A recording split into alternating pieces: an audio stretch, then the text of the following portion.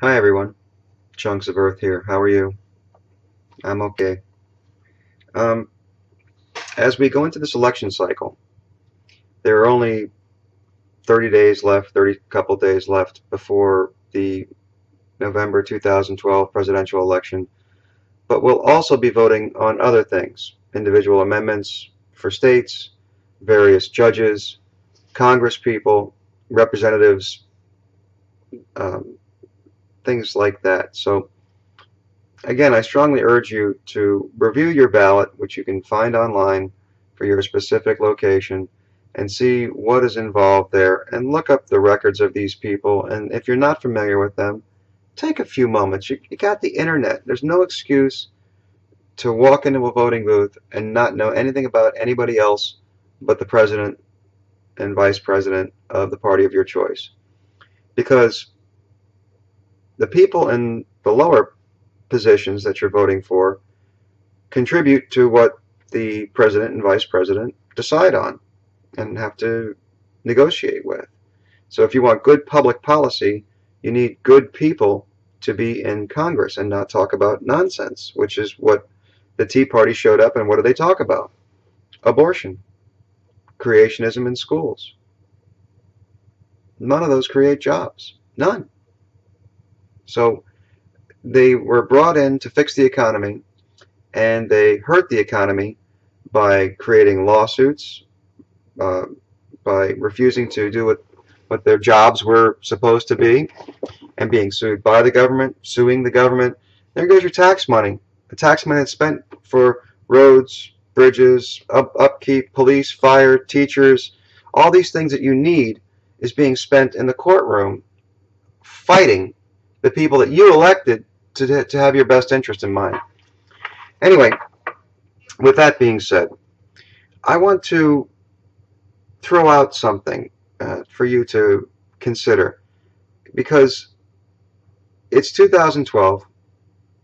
In 2005, I was making 5% interest on a certificate of deposit in the bank. The economy was starting to go downhill through the policies of George Bush and previous presidents, all the way from Reagan, that started this slide. But basically, the the unmitigated disaster that was George Bush, and everybody agreed was a disaster because they don't talk about him anymore. The Dow was at 8,000. Now it's the highest it's been. It's over 13,000, 13.5. Um, jobs are slowly coming back. So I don't want you to forget something, and I'm going to to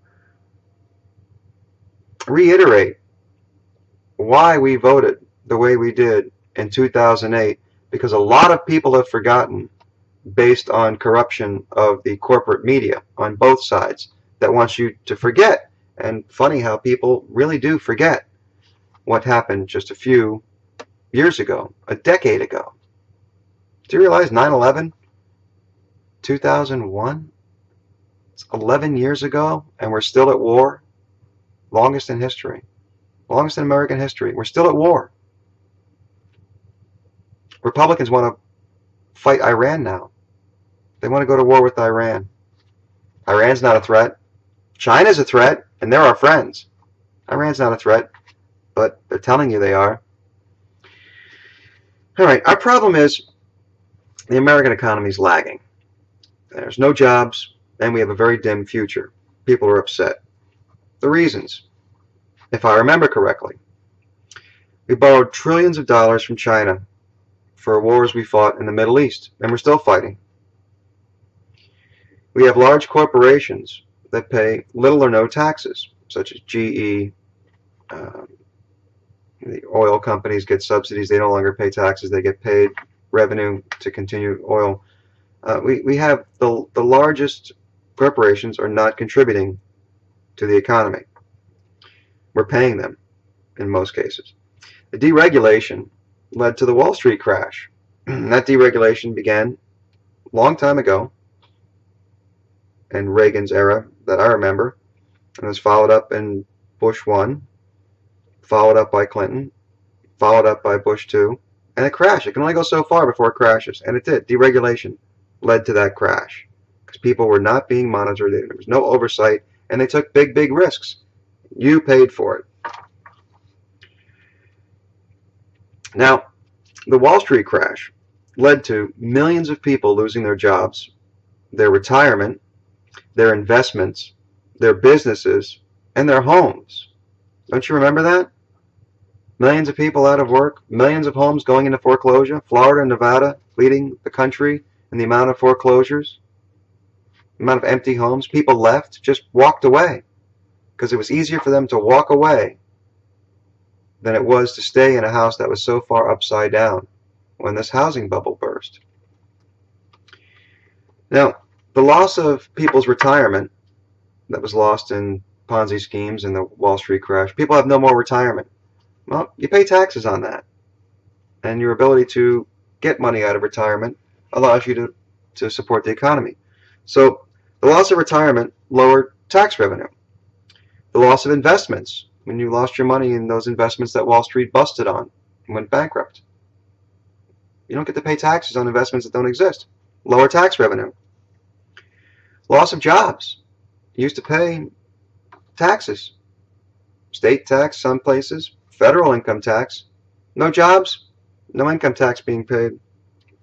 The loss of homes, all those foreclosures. Now you're not paying property tax. All those gov local governments are not getting the income they used to to help maintain the system. No more taxes. No more money. They're shutting down services. They're not hiring police officers. They're they're downsizing their fire department, their paramedics, the teachers. Lower property values also lead to lower tax revenue. For instance, our house was worth about a quarter of a million dollars. It went down to 170,000 in the worst part, and now it's back up to around 190,000. We're upside down. We've lost a lot of money in our property values because of the Wall Street crash, the housing bubble, and the subsequent crisis.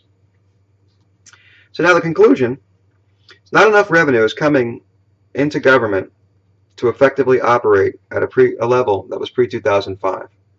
Um, and I, I must add a caveat that we also ship jobs overseas. So there were fewer jobs available for us to have to pay taxes on to support the government. So that's also what led to businesses closing and the the crash. People unable to pick themselves up and get get back into the workforce. Um, so not enough revenue. That's why they're trying to shrink government because there's no tax money being paid, and the reason is their fault. So the solutions. This is what this is what the solutions that are being offered. You guess which party. Lower corporate taxes.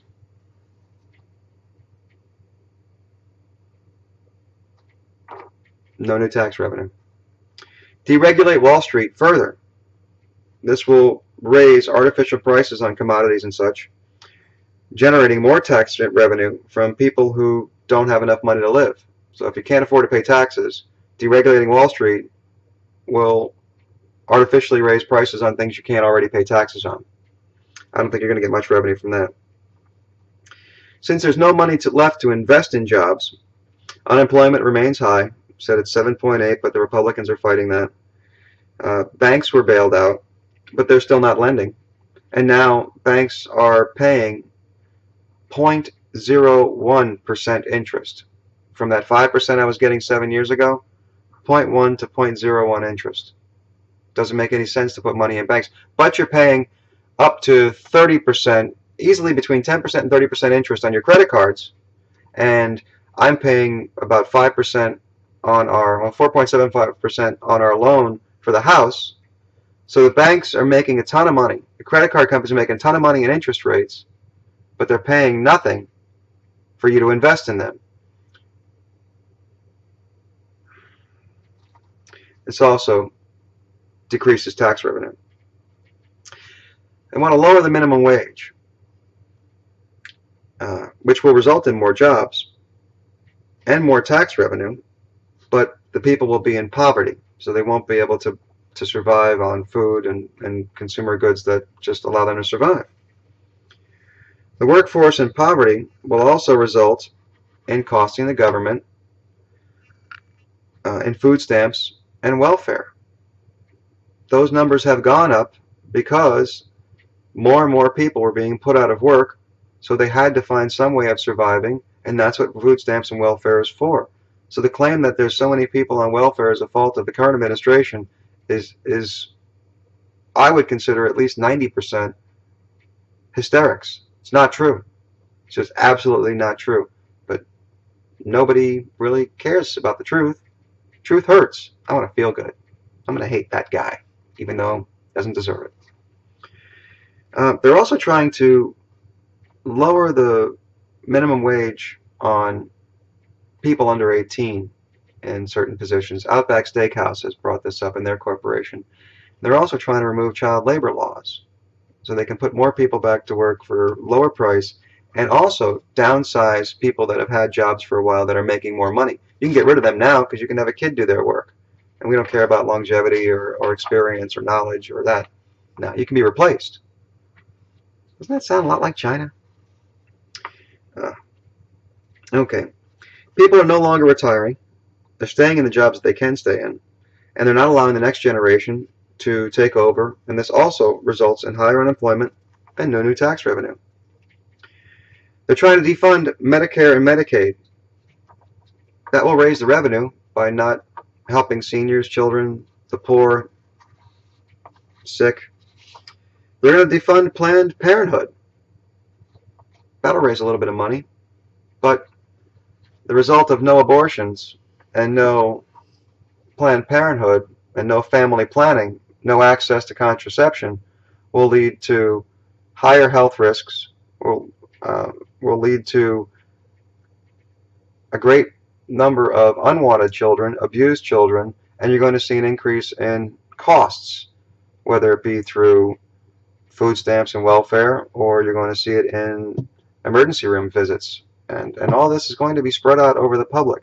So they're, they're making it look like they're cutting costs in front of you, but you're paying for it exponentially later on.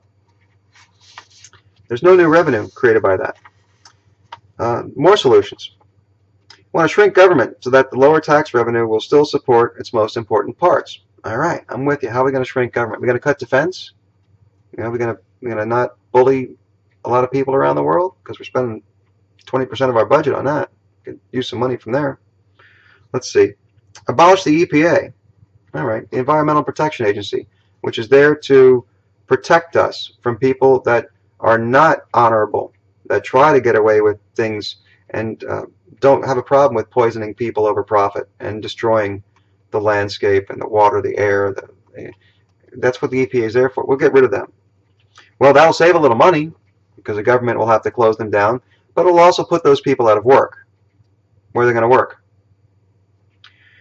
Um, it will remove the regulations, and it will sacrifice the environment and the quality of life to pursue revenue. Next step, abolish the Department of Education. Well, that's a good idea because we're just overflowing with intelligence in this country. Um, as I mentioned, you can look at Representative Broun and Todd Akin. Those people are brilliant. Michele Bachmann on the Intelligence Committee. Not a day goes by where she doesn't say something profound. So the abolish the Department of Education.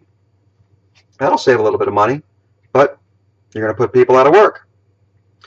And you'll give unregulated and unmonitored, unregulated and unmonitored choice of what the citizens learn. So now we have no standard to be well-rounded in society and begin to contribute and have the skills needed to to help, to contribute to society. Now, you, you teach your kid whatever you want, wherever you want, however you want, whyever you want. Does anybody see anything wrong with that? In long term? This is all about money. Um, okay. The goal is to have a large, ignorant, fearful, confused workforce that will be easier to control and less likely to make demands of fairness. This will also create chaos and hysteria while people have conflicting ideas of what is fact, what is knowledge, what is truth, what works, So we'll stop paying attention to what government's doing and fight amongst ourselves for survival. And finally, let's increase defense spending, which we have to borrow from China to fight Arab countries. Well, I want you to think about that when you go to the polls because there's only one party that has this idea in mind as a path to success. I think you can guess who that is. I'm Chunx of Earth, and so are you. The rest of the, the rest of us here in the U.S. are counting on you to get off your ass and go vote. Because if you don't, idiocracy awaits us. Do your part. Thank you for watching.